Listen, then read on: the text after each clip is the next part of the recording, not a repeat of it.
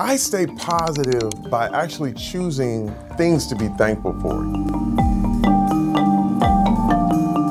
An attitude of gratitude literally gives you energy. But I also found that I used to be the opposite. And my wife will tell you, because we've been married 28 years, she knows the other side. I was not a nice person to live with. And when I saw personally the differences in my life from once I was a pessimist to the switch to being an optimist, it's like night and day. Instead of looking for what's wrong with everything, I started to look for what was right with everything. And you start to realize that you only get where your habits take you.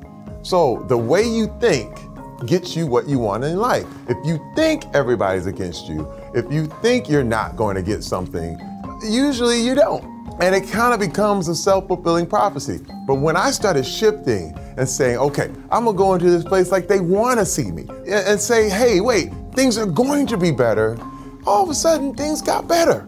And uh, listen, you can say it's a Jedi mind trick on your own head. Well, I say do it.